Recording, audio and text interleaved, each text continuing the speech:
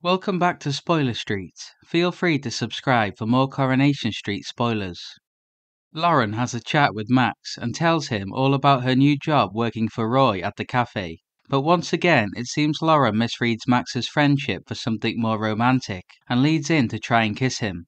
Max begins to act defensive and makes it clear to Lauren yet again that they could be nothing more than friends with each other. This leaves Lauren feeling disappointed.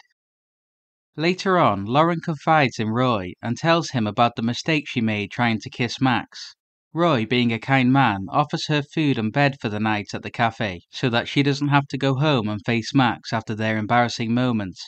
But shockingly, Lauren offers to sleep with Roy to show her gratitude for his kindness. I wonder what Roy's reaction will be. Lauren later returns back to Max's house and tells him that she made a move on Roy. After embarrassing herself yet again, it seems she is set on leaving the street for good, but I wonder if Max will convince her to stay. After hearing that his tie pin was found at the scene of Rufus's murder, Stephen is determined to find the piece of evidence and get rid of it before Stephen's ex-wife Lou hands it over to the police. He does this by breaking into Lou's hotel room and rummaging through her belongings. Later in the week, Lou meets up with Stephen in the pub and notices how visibly anxious he's acting. I think Lou is starting to suspect that Stephen was involved in her husband's death.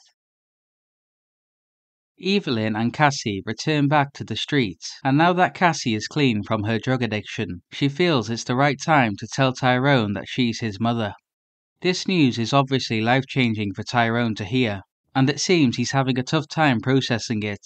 Him finding out that Cassie is his mother also means that Evelyn has been lying to him for years about his mother being dead, which will also put Evelyn and Tyrone's relationship on shaky grounds.